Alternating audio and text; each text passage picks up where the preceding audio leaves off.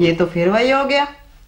शशि हम्म, देखो तो मैं इतनी देर से इस बड़े डब्बे की गोलियाँ इस छोटे डब्बे में डाल रहा हूँ लेकिन ये बड़ा डब्बा तो भर रहा है और ये छोटा डब्बा नहीं भर रहा है। लाइए भैया मैं कोशिश करके देखती हूँ। देखो।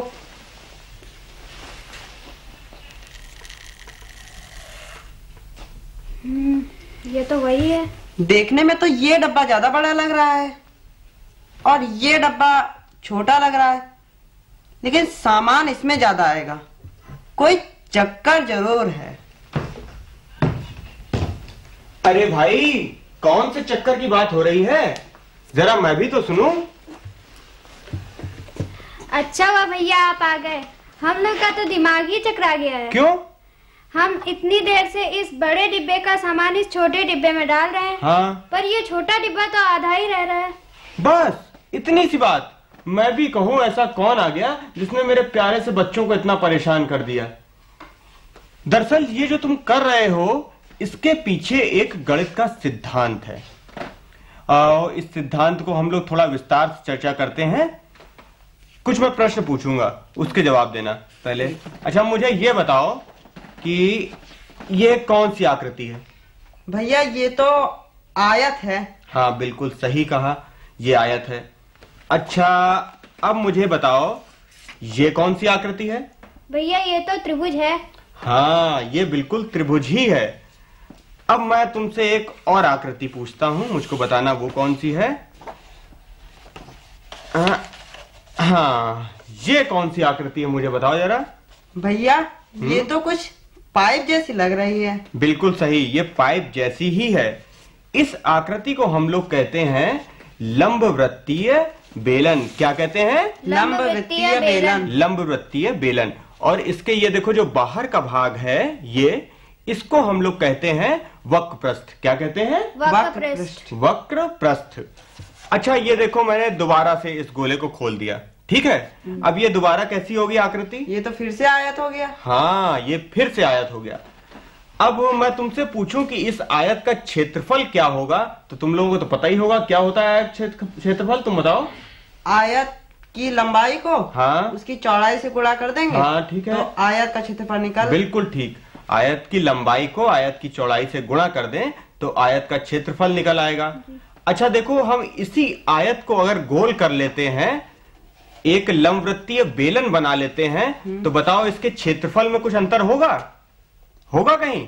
हमारे हिसाब से तो नहीं होना चाहिए, क्योंकि वही जो उसकी लंबाई थी, वो उसकी परिधि हो गई और जो उसकी ऊंचाई जो उसकी चौड़ाई थी, वो ऊंचाई हो गई।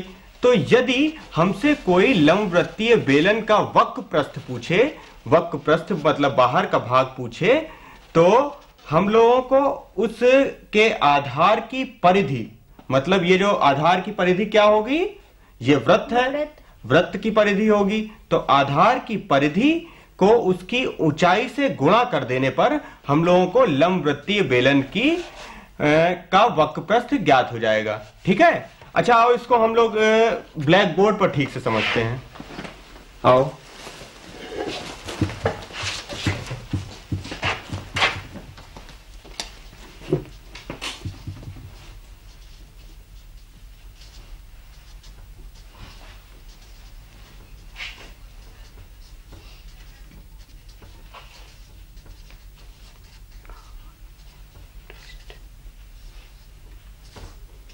वक्रप्रस्थ बराबर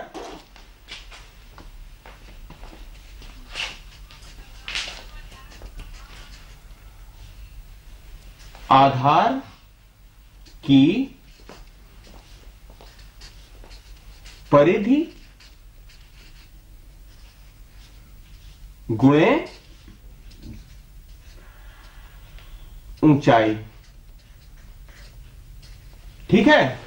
लंबवृत्ति बेलन का वक्रप्रस्थ बराबर आधार की परिधि गुणे ऊंचाई। ऊंचाई।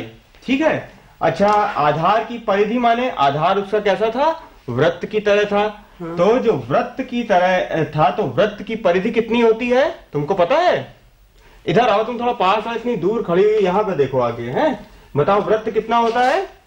दो गुणे पाई गुणे त्रिज्या। दो गुणे पाई गुणे त्रिज्या। तो यहाँ पर हम लोग लिखते हैं वक्रप्रस्थ बराबर दो गुणे पाई गुणे त्रिज्या। त्रिज्या। ठीक है? और ये हो गया उसकी परिधि।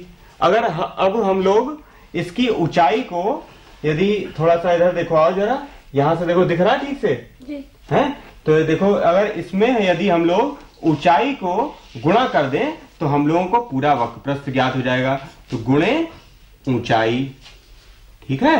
ऊंचाई ऊंचाई का हम लोगों ने गुणा कर दिया इसमें। अब हम लोग इसको संकेतों में ऐसे लिख लेते हैं दो तो दो हो गया ठीक है?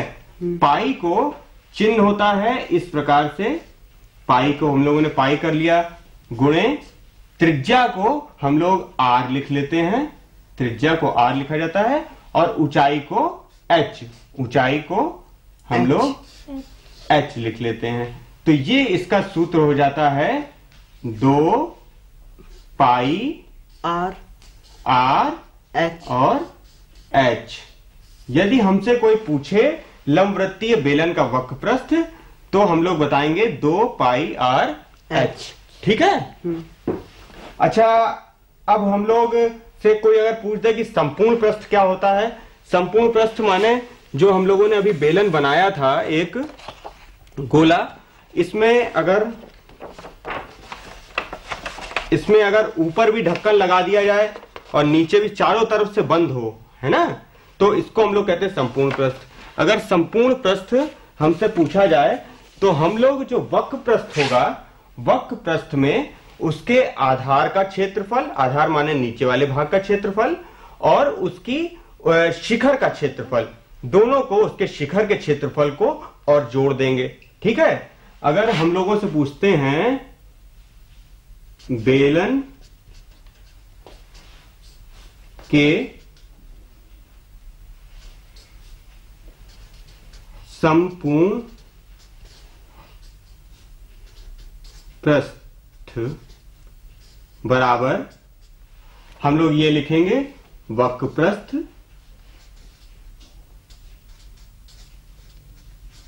वक्र प्रस्थ धन आधार का इधर आगे लिख लेते हैं हम लोग वहाँ जगह नहीं है है ना? आधार का क्षेत्रफल। क्षेत्रफल धन शिखर का क्षेत्रफल शिखर का क्षेत्रफल। क्षेत्रफल। फल। ठीक है? अच्छा वक्रप्रस्थ तो ये हो गया। हम लोग जानते ही हैं। चलो और दूसरा पेज लगा लें जरा। देखो ये हम लोग कह रहे थे ये इसका वक्रप्रस्थ प्लस आधार का क्षेत्रफल प्लस शिखर का क्षेत्रफल। संपू अ, इसके वक्रप्रस्थ को हम लोग लिखते हैं बराबर दो पाई आर एच। ये तो था ही। अब धन अच्छा ये इसका जो क्षेत्रफल होगा वो वृत्त का क्षेत्रफल होगा। वृत्त का क्षेत्रफल कितना होता है? तुम बताओ शशि। पाई गुणे त्रिज्या की त्रिज्या का वर्ग। बिल्कुल। पाई गुणे त्रिज्या का वर्ग। और अब उसका जो होगा, दूसरा शिखर का क्षेत्रफल, वो भी वृत्त ही होगा। तो वो भी हम लोग वो भी वही हो जाएगा। तो ये भी हम लोग धन लिख लेते हैं। धन जोड़ेंगे। आगे पाई गुणे त्रिज्या का वर्ग। इसको हम लोग वही ऐसे लिख लेते हैं। दो पाई आर एच। ये तो हो गया वही वक्रप्रस्थ। अब इसको लिख, लिख लेते हैं प्लस पाई गुणे। त्रिज्या का वर्ग लिख लेते हैं हम लोग। यहाँ त्रिज्या को हम लोग ने आर लिखा है। त्रिज्या का वर्ग धन पाई गुणे त्रिज्या का वर्ग। अब देखो पाई गुणे त्रिज्या का वर्ग यहाँ भी है पाई गुणे त्रिज्या का वर्ग यहाँ भी है। तो ये हो गया दो पाई त्रिज्या का वर्ग हो जाएगा। ठीक है? तो इसको हम लोग लिख लेते हैं ये शुरू से दो पाई आर एच प्लस दो पाई आर का वर्ग। ठीक है? अब इसमें देखो बताओ कि इन दोनों में कुछ समान दिख रहा है? क्या क्या दिख रहा है हमको बताओ हम लिखते जाएँ इधर। दो दो पाई पाई आर। आर। ठीक है? अब बचा क्या क्या एच इधर बचा इधर बचा ऊंचाई बची एच धन। इधर एक दो थे यहाँ वर्ग था तो एक यहाँ पर त्रिज्या बच गई। तो यहाँ आर। तो यदि हमसे कोई लंबवृत्ति बेलन का संपूर्ण प्रश्न पूछे तो उसका सूत्र होगा ये। क्या होगा? टू दो पाई त्रिज्या और ब्रैकेट में ऊंचाई धन त्रिज्या। त्रिज्या। ये हो गया संपूर्ण प्रश्न। क्यों? समझ में आ गई बात? जी। मैं जान गई हूँ कि वृत्त की परिधि को यदि ऊंचाई से गुणा कर दे तो उस बेलन का वक्र वक्र पृष्ठ आ जाएगा। बिल्कुल सही। अगर वृत्त की परिधि को ऊंचाई से गुणा कर दें तो बेलन का वक्रप्रस्थ आ जाता है। भैया? हाँ? पर हमारा अभी तक डिब्बे वाला सवाल तो सुलझा ही नहीं है। अरे रुक जाओ इतना परेशान मत हो। अब मैं उसी सवाल पर ही आ रहा हूँ। देखो अभी हम लोगों ने वक्रप्रस्थ पढ़ा और संपूर्ण प्रस्थ पढ़ा। अब हम लोग इसके आयतन पर आते हैं। जो बेलन है, जैसे ये तुम्हारा डिब्बा था, इसके अंदर जितनी भी चीज़ आएगी, और कितनी आएगी तो इसको हम लोग आयतन कहेंगे। इसके अंदर कितना सामान आएगा, इसको हम लोग आयतन कहेंगे। तो आयतन को ज्ञात करने के लिए हम लोगों को आधार का क्षेत्रफल, आधार उसके जो नीचे का भाग है, उसका क्षेत्रफल गुणे ऊंचाई। आधार का क्षेत्रफल अभी मैंने पहले बताया, कितना होगा बताओ? आयतन बराबर आयतन बराबर पाई। आधार का क्षेत्रफल कितना मैंने बताया था अभी? पाई गुणे त्रिज्या का वर्ग। पाई गुणे गुणे त्रिज्या का वर्ग। त्रिज्या हम लोगों ने आर लिख ली थी त्रिज्या का वर्ग। वर्ग। ठीक है? और इसमें यदि हम लोग ऊंचाई का गुणा कर दें तो हम लोगों को पूरा आयतन मिल जाएगा। तो अब गुणे हम लोग ऊंचाई को भी इसमें जोड़ लेते हैं, ऊंचाई। ठीक है? तो ये क्षेत्रफल का सूत्र हो गया। अगर हम लोगों से लंबवृत्तीय बेलन का कोई आयतन पूछे तो हम लोगों का हो जाएगा पाई आर स्क्वायर एच। ठीक है? अब मैं तुम्हारे उस डिब्बे वाले प्रश्न पर आता हूँ। यदि किसी डिब्बे की त्रिज्या अधिक है तो उसका आयतन भी अधिक होगा। जिस प्रकार से इस डिब्बे में है, देखो इस डिब्बे की त्रिज्या हम लोग देखते हैं, इसकी त्रिज्या, उस डिब्बे की त्रिज्या की अपेक्षा अधिक है तो इसलिए इसका आयतन भी अधिक होगा। अच्छा एक हम लोग प्रश्न बना लेते हैं, कुछ संख्याएँ लेते हैं तो उससे हम लोगों का पूरा सही हो जाए। यदि हम लोगों को किसी एक डिब्बे की त्रिज्या मालूम है 10 सेंटीमीटर है ठीक है? और उसकी ऊंचाई सात सेंटीमीटर है। तो हम लोग चलो उसी सूत्रों में रखते हैं। सूत्र बताना मेरे को। क्या है? पाई। गुणे त्रिज्या का वर्ग। त्रिज्या का वर्ग त्रिज्या का वर्ग। गुणे ऊंचाई। गुणे ऊंचाई। ठीक है? अब इसको पाई का मान तुम लोगों ने पुरानी कक्षाओं में भी पढ़ा होगा। बाईस बटे सात होता है। कितना होता है? बाईस बटे सात। पाई का मान होता है बाईस बटे सात। गुणे। अब ये त्रिज्या यहाँ पर दी त्रिज्या मैंने बताई थी उसकी उसकी त्रिज्या अधिक थी त्रिज्या थी दस सेंटीमीटर। ठीक? अब ये वर्ग दिया हुआ है तो वर्ग लिख दिया।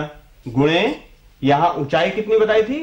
सात। ऊंचाई सात सेंटीमीटर बताई थी तो ये सात सेंटीमीटर हो गई। अब इसको और हल करते हैं चलो हम लोग। बाईस बटे सात गुणे दस दस। गुणा बताओ। दस। अब? गुणा सात। गुणे सात। ठीक है? देखो अंश में भी सात है हर में भी सात है तो ये सात सात हम लोग काट देते हैं। ठीक है? अब शेष बचा बाईस गुणे दस गुणे दस। तो ये हो गया दस गुणे दस कितना हो गया? सौ। सौ और बाईस? बाईस सौ। बाईस सौ। बिल्कुल ठीक बताया तुमने तुम्हारी गणित तेज है। बाईस सौ बाईस सौ घन सेंटीमीटर। सेंटीमीटर। मीटर अच्छा जो वक्रप्रस्थ होता है वो वर्ग सेंटीमीटर में निकाला जाता है और जो आयतन होता है वो घन सेंटीमीटर में निकाला जाता है।